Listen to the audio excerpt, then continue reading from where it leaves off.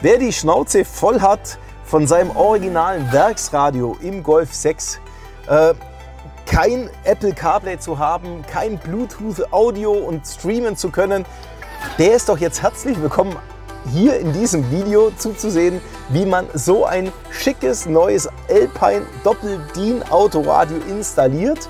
Ähm, willkommen in Teil 2. In Teil 1 haben wir ja bereits gezeigt, wie man dieses Fahrzeug DAB-tauglich macht, ohne eine neue Antenne aufs Dach zu montieren oder an die Windschutzscheibe, sondern die originale UKW-Antenne modifiziert in DAB Plus und jetzt richtig geilen Sound ins Auto reinbringt mit allen aktuellen Medien. Viel Spaß bei ARS24 auf diesem YouTube-Kanal.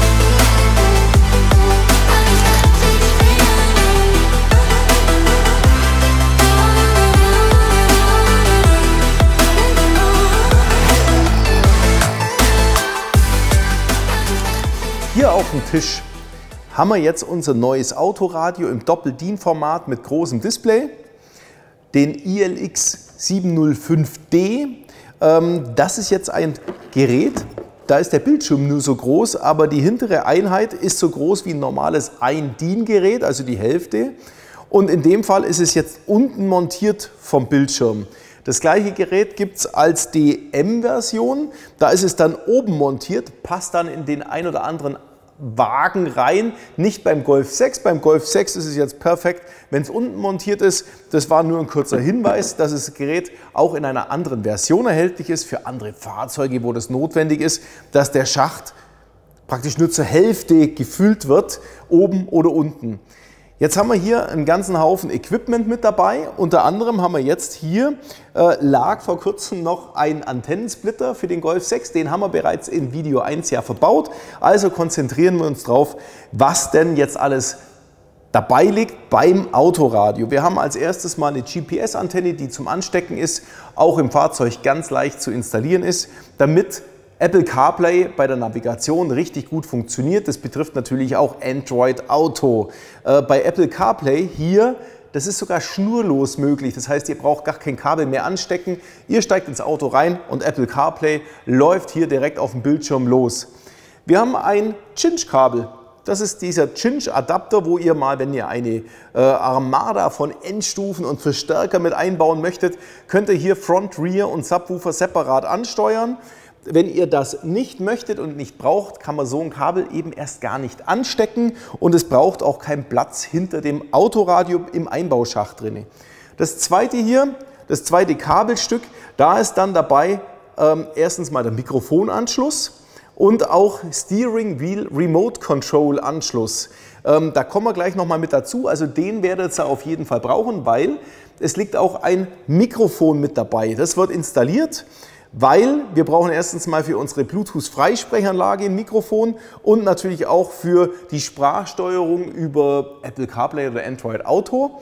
Und wir haben einen Anschluss mit dabei, der würde jetzt eine Rückfahrkamera mit adaptieren, wer das im Fahrzeug drinne hat. Äh, da kann ich euch eigentlich auch gleich weitere Artikel dazu äh, nennen. Wobei, wenn ich schon dabei bin, die sind alle unten im Videobeschreibungstext mit verlinkt, diese Artikel, da findet ihr alles. Wir haben hier den Kameraanschluss für Rear-Kamera und das könnte man jetzt hier adaptieren auf einen ganz normalen äh, Cinch-Video-Eingang, weil grundsätzlich ist von diesem Stecker ähm, gibt es eine Rückfahrkamera von Alpine direkt, die kann man anstecken, aber für alle, die eine Werkskamera im Golf 6 schon drin haben, die brauchen praktisch diese Kombination hier erstmal drauf auf einen Cinch-Video-Eingang und jetzt gibt es zwei verschiedene Sachen. Passt auf, Leute.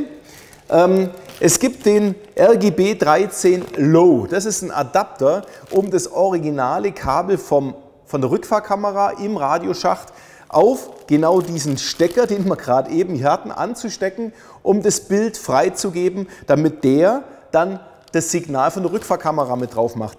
Der Low, also der RGB 13 Low, ist der für Rückfahrkameras werksmäßig, die keine äh, Kameraführungslinien drin haben, die beweglich sind. Es gibt den RGB 13 High heißt der dann. So heißt auch eure Kamera im Werksradio drin. Also die macht dann die beweglichen Linien. Wenn ihr das Lenkrad einschlagt, dann werden diese Linien krumm und zeigen euch an, wo genau ihr hinfahrt dann bräuchtet ihr diesen anderen Adapter. Also je nachdem, was ihr für eine Kamera im Fahrzeug drin habt, braucht ihr das entsprechende Interface dazu. Aber dann könnt ihr die Werkskamera direkt über das neue Autoradio komplett mit bedienen und es funktioniert alles einwandfrei. Dann haben wir einen CAN-Bus-Adapter. Also das gerade eben war ja nur die Ergänzung, falls ihr eine Werkskamera überhaupt drin habt. Wenn ihr die nicht habt, braucht ihr das alles gar nicht beachten. Ansonsten müsst ihr jetzt nur noch schauen, wie das Alpine Radio jetzt Strom bekommt. Und zwar haben wir hier noch unseren Hauptanschlussstecker von Alpine, den man hier hinten einfach mal mit ansteckt. Und jetzt haben wir eine Adaption mit drauf. Einmal für den Lautsprecheranschluss, also damit eure Lautsprecher im Fahrzeug funktionieren und der Stromanschluss. Ihr könnt nicht einfach den Anschluss hier mit ins Auto reintun, sondern ihr braucht dieses CAN-Bus-Interface, das dafür zuständig ist, dass die Adaption vom Stecker her erst einmal passt und zweitens die Zündung generiert wird über diesen, dieses CAN-Bus-Interface, das hier mit angesteckt wird, damit ihr, wenn ihr die Zündung anmacht, das Autoradio automatisch mit angeht und auch wieder ausgeht beim Schlüssel abziehen. Wir haben ja auch noch Sonderfunktionen mit dabei. Wir haben die, die Parking Brake haben wir mit dabei. Wir haben ähm, die, den Speed Pulse und auch den Reverse, das Reverse-Signal. Das heißt, wenn euer Rückwärtsgang eingelegt wird beim Rückwärtsfahren und die Kamera rausgeht und auf Betrieb geht, dass das Bild hier umgeschalten wird. Auch das haben wir hier auf unserem CAN-Bus-Anschluss mit drauf. Wenn ihr ein Fahrzeug habt, das dann die Lenkradtasten hat für laut leise und für vor und zurück, gibt es den CAN-Bus-Adapter, der noch zusätzlich ein Kabel hat, das eben dann an diesem Steering Wheel Remote Anschluss am Autoradio mit angeschlossen wird. Dann funktioniert auch eure Lenkradfernbedienung. Und wenn ihr ein Fahrzeug habt, wo ihr mit Sitzheizung, mit Klimaanlage arbeitet und im Display sichtbar ist, dass ihr da was verändert und ihr möchtet das unbedingt auch haben, dass das in diesem Autoradio wieder mit angezeigt wird, dann braucht ihr das Info-Interface. Das funktioniert praktisch so ähnlich wie das, ist aber ein Teil mehr, das noch mit angesteckt wird. Alles nicht die Welt, ist eine Kostenfrage. Wer das unbedingt haben möchte, der braucht dann das Info-Interface. Ansonsten langen dann euch entweder ein normaler Campus-Adapter, der sich nur um die Stromzufuhr ändert oder eben erweitert für Fahrzeuge mit Lenkradfernbedienung. Abschließend zu dem, was hier liegt, haben wir noch zwei Radioblenden, damit das Autoradio nachher auch gut ausschaut, wenn es im Fahrzeug drin ist. Dazu brauchen wir entsprechende Blenden und dafür haben wir jetzt einmal die Blende in Hochglanz schwarz oder in matt schwarz mit Rubber Touch dann schaut das Ganze so aus und kann im Fahrzeug eingefügt werden, damit es einfach eine Harmonie im Fahrzeug hat. Und natürlich sind solche Metallblenden mit dabei, um die richtige Position für das Autoradio zu finden. Fangen wir an mit der Verkabelung. Einmal Mikrofon. Guter Platz hier direkt vorne drinne.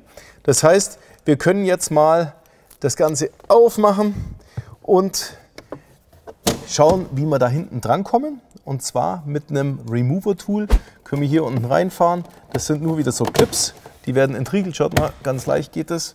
Und dann können wir das hier runterlupfen. Und jetzt sehen wir schon durch. Zwischen Radioschacht und hier vorne können wir problemlos das Kabel für das Mikrofon durchlegen. Ja, ja, easy. Schau mal daher, da kann ich durchlangen.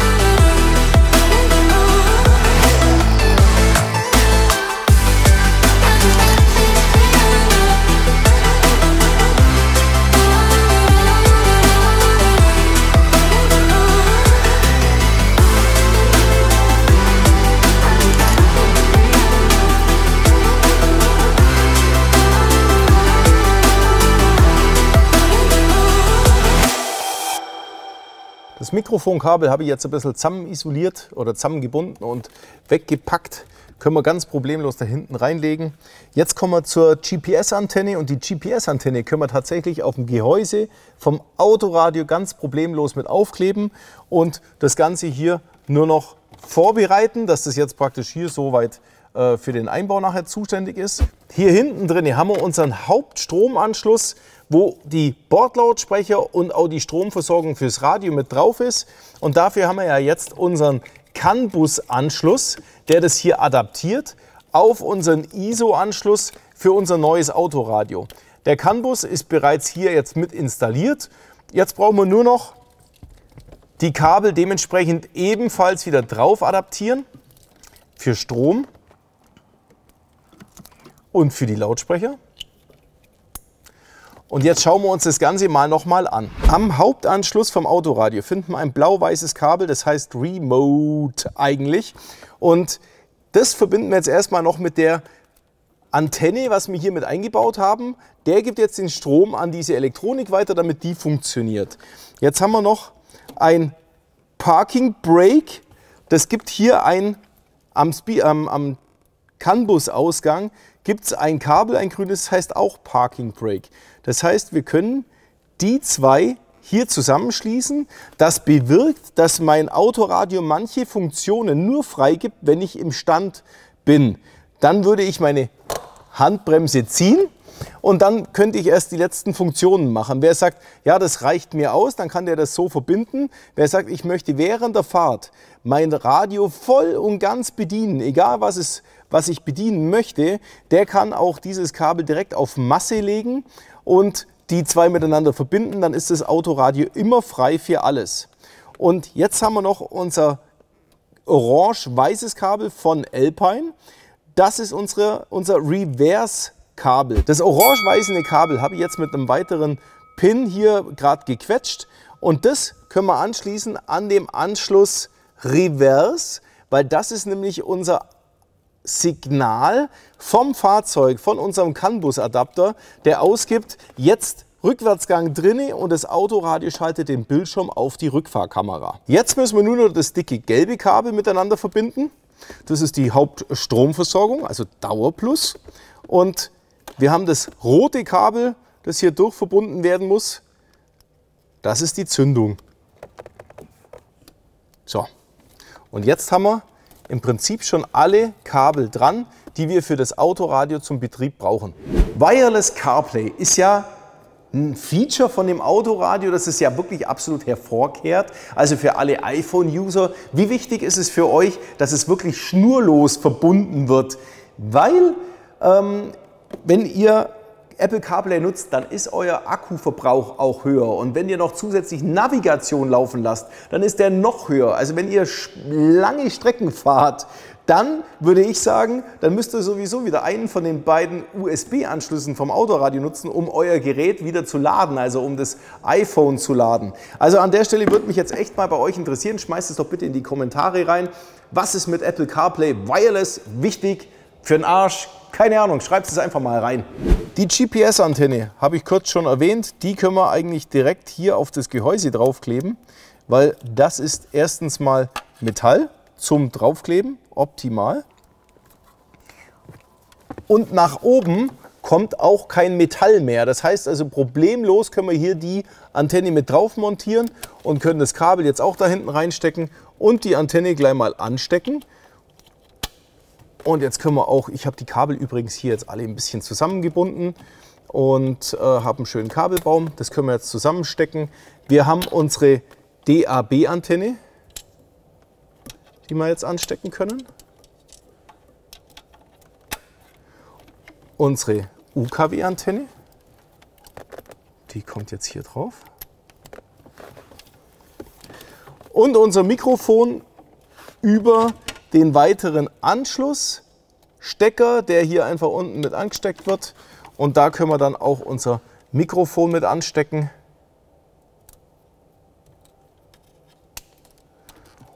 Fehlen tun jetzt noch die zwei USB-Anschlüsse, die mit dem Autoradio direkt verbunden sind.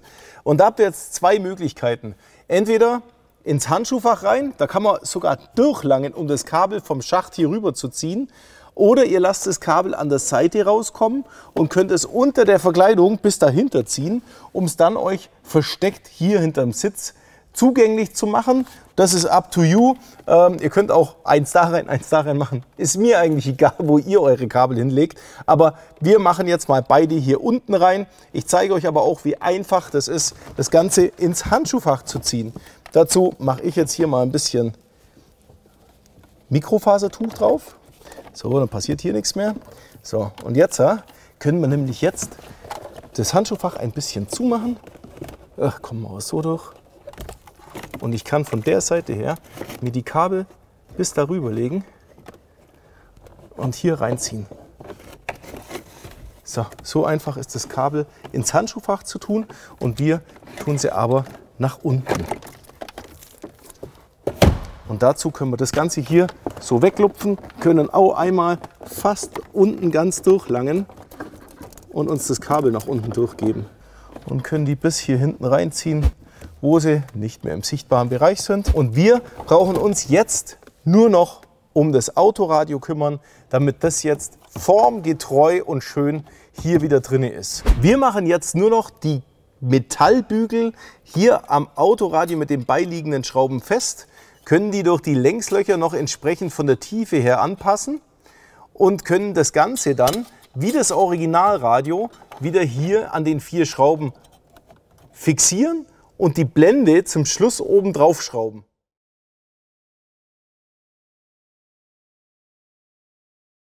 Ich habe jetzt die Bleche so weit an, das, an den Body geschraubt, dass das Blech hier vorne mit dem Blech hier drinne so ziemlich bündig ist. Und das können wir jetzt alles hier schon mal reinmachen. So, das ist die Endposition. Und jetzt legen wir halt unseren Rahmen, der jetzt mit allem verschraubt wird, drauf und sehen, aha, es ist jetzt alles bündig und so können wir es dann auch reinmachen. Und das kann ich natürlich dementsprechend pro Monitor anpassen. So, und jetzt kommt abschließend der Rahmen wieder oben drauf. Der ist ja nur geklippt gewesen. So, das war's. Und hier haben wir jetzt eine schöne Menüüberfläche mit einem HD-Display. Das schaut auch richtig hochwertig aus.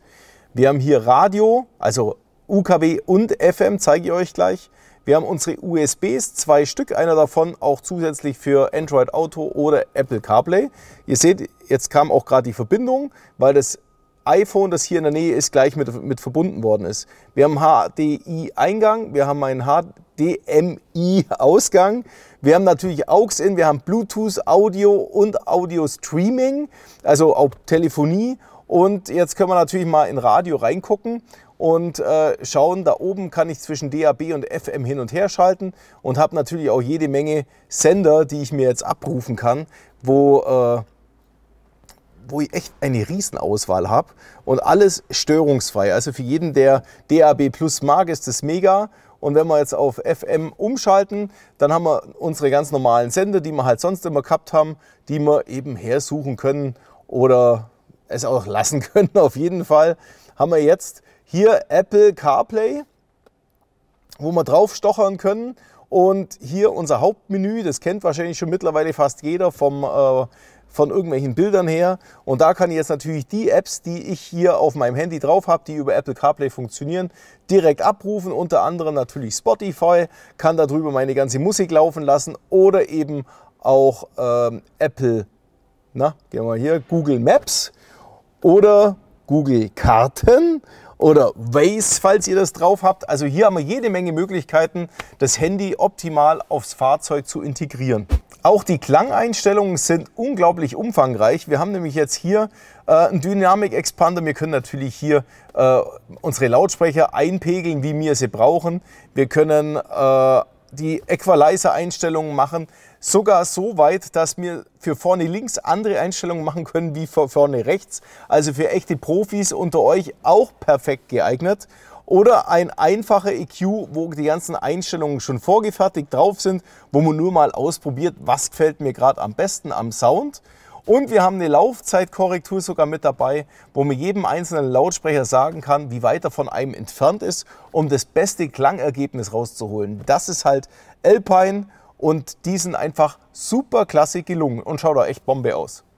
So schwer war es ja jetzt eigentlich auch wieder nicht. Ich bin auf jeden Fall der Meinung, dass man so ein altes Autoradio von VW, das ja mit der Zeit in die Jahre kommt, ähm, schon mal ablösen sollte mit den neuesten Medien, weil sonst bleibt alles irgendwie auf der Strecke, was man so auf dem Handy äh, für tagtäglich und für normal hält und im Auto ist auf einmal alles weg. Also Die Zubehörsachen, äh, das ist ja alles nicht so das Problem, wenn ihr euch an uns wendet und äh, diese Artikel so verwendet, wie wir es jetzt in diesem Video eingebaut haben. Wenn ihr ein anderes Auto habt, dann ruft uns halt an, wenn ihr wissen wollt, welche Zubehörartikel ihr bei einem anderen Auto braucht, um so ein Autoradio auszuwechseln dann äh, seid ihr doch gut gewickelt. Ihr findet uns auf der Telefonnummer 08331 99 0300 oder ihr schickt uns eine Mail an info@ars24.com. So, alle anderen Links weiter unten im Videobeschreibungstext. Bis zum nächsten Mal, euer Olli.